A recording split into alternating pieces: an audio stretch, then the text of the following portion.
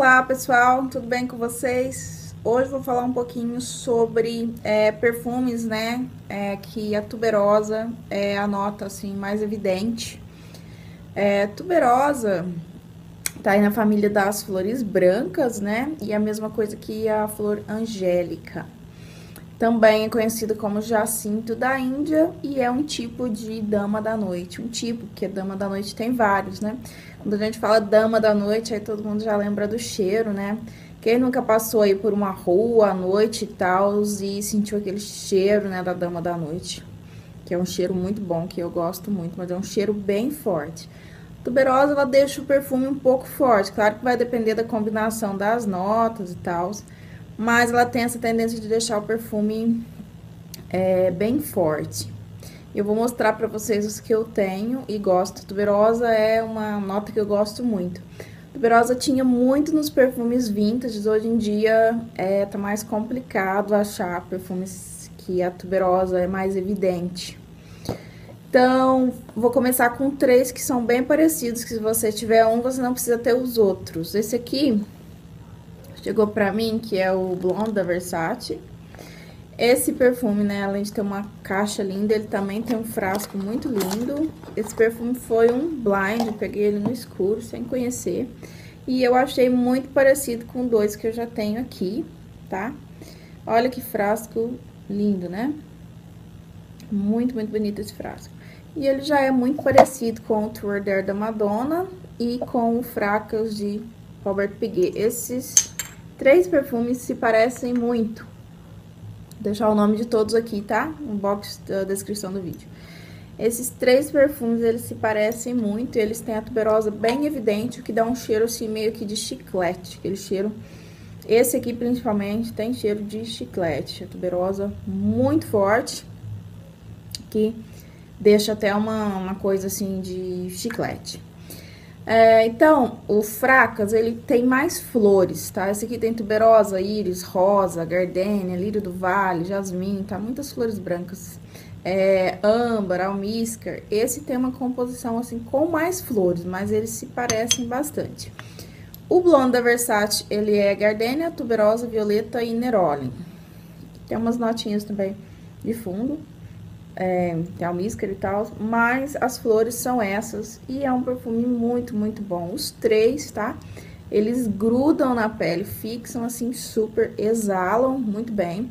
Esse aqui tá um pouquinho difícil de encontrar, mas é o mais barato, mais barato entre os três, caso vocês encontrem.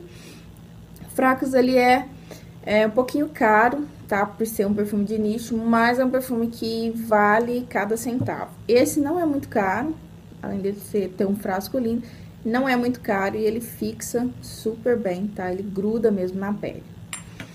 O próximo que eu já fiz resenha é o Nacional Índia Misteriosa, da marca é, Nacional Mahogany. Esse perfume, eu já falei muito dele, né, na resenha que eu fiz só sobre ele. Mas ele também é pura tuberosa, ele tem uma tuberosa muito forte. Mas ele tem outras flores aqui que meio que tira um pouco, assim, da, do brilho da tuberosa, tá? Você não vai sentir ela, assim, pá, de imediato, como nesses três. Mas esse aqui tem limão, tem mimosa, tuberosa, jasmim, lírio, sândalo, cedro, patchouli. Esse já é uma combinação, assim, que ofusca um pouco a tuberosa, mas a tuberosa não deixa de ficar presente na evolução e bem forte. Mas se você gostar mesmo de tuberosa, cheiro mesmo, esses três que eu mostrei no início. Tem também essa colônia da Febo, que é baratinha, né? Que se chama tuberosa do Egito. Esse, esse aqui é levinho, né? Super leve, mas ele fixa bem. Ele não tem aquela projeção assim, mas ele fixa bem e é o puro cheiro da tuberosa também, tá? Mas ele tem rosa. Então, a rosa, é, eu sinto bastante a rosa aqui também. Tem a rosa e o jasmim. É ruim isso aqui, né? Que não tem borrifador. Mas dá pra adaptar, né? Um borrifador aqui. Mas essa embalagem não é muito prática, mas é uma embalagem bonita. Eu acho bonito esse vidro. E também é um perfume, assim, é uma tuberosa mais dia, porque tipo um, um Fracas, um, um Blonde Versace, você não vai conseguir usar durante o dia, muito forte, é sufocante. tá? Chega a ser sufocante. Um outro que tá aqui é o Chanel da... É o linha, hum, nossa, gente, hoje tá, hein? É o da linha exclusiva da Chanel, o Gardenia, que ele chama Gardenia, mas é, de imediato, quando você borrifa, você sente a tuberosa. É bem estranho isso, que ele chama Gardenia, mas ele é tuberosa. Assim, eu sinto também a Gardenia, mas o que você vai sentir mais nesse perfume é a tuberosa. E ele tem flor de laranjeira, tuberosa, jasmim, gardênia, é, sândalo, patchouli, coco e baunilha. Esse tem fundinho mais doce.